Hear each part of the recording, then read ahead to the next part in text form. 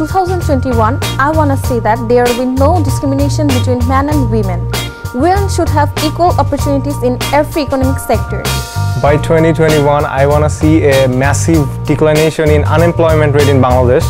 In 2021, what I want for Bangladesh is that there will be no extremism in my country. Everyone will feel secure here regardless of their gender, their sexuality, their ethnicity or their nationality. My vision for Bangladesh in 2021 is a land full of peace and free from all kinds of violence, exploitation and injustice. I want Bangladesh to be regarded internationally as a country that can ensure basic human rights for each and every person.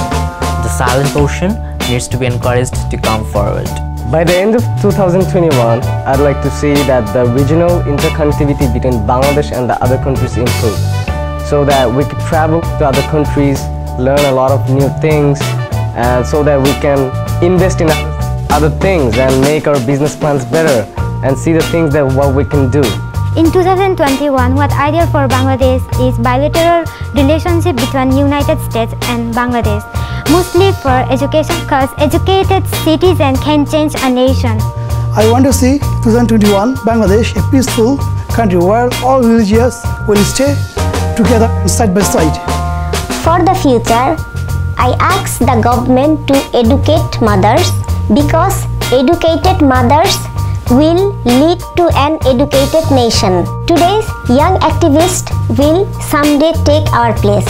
I want their action to be honest, fair and accountable. We have much more to do for our society, for the peace of the world and of course for advancing the right of the women.